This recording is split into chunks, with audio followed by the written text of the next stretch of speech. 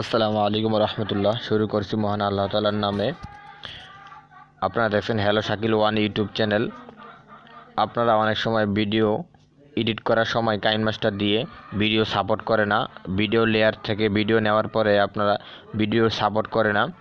সেই সমস্যাটি আজকে কীভাবে সমাধান করবেন সেটি আমি দেখিয়ে দেব। আপনারা দেখুন, আপনাদের যে সমস্যাটি হয়, তা হচ্ছে ধরুন আপনারা একটি ব্যাকগ্রাউন্ড নিলেন। ব্যাকগ্রাউন্ডের উপরে আপনারা একটি লেয়ার থেকে একটি ভিডিও নেবেন। ধরুন আমি একটি ভিডিও নিব।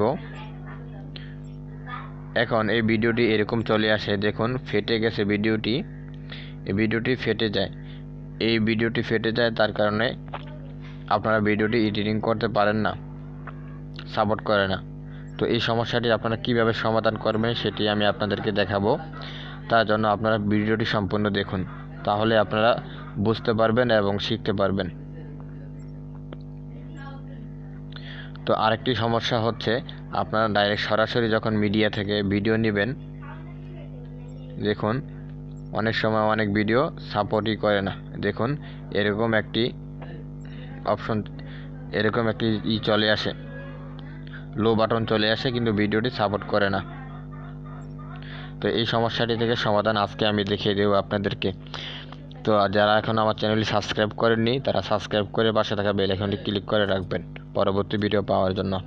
তো তার জন্য আপনাদের যা করতে হবে, আপনারা প্রথমে কাইন মাস্টার সফটওয়্যারটি ওপেন করবেন।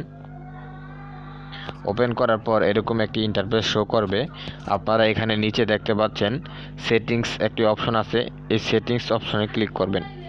ক্লিক করার পর এখানে my information about KineMaster device capability information বিভিন্ন ধরনের লিখে আছে। আপনারা এখান থেকে একেবারে নিচে চলে যাবেন।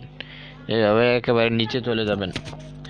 নিচে গিয়ে অ্যাডভান্স অ্যান্ড অ্যাডভান্স সেটিংসে ক্লিক করবেন। অ্যাডভান্স সেটিংসে ক্লিক করার পর এরকম অনেকগুলো লেখা চলে আসবে। আপনারা একেবারে নিচে আনলিমিটেড ভিডিও লেয়ার এই অপশনটি অন করে দেবেন। দেখুন অন করে দেবেন। অন করার পরে এরকম একটা লেখা আসবে। কন্টিনিউ অ্যানালাইজ কন্টিনিউ অ্যানালাইসে আপনারা ক্লিক করবেন। দেখুন, এই অপশনটি আপনারা এনেবল করে দিবেন, চালু করে দিবেন। দেওয়ার পরে আপনাদের কাজ শেষ।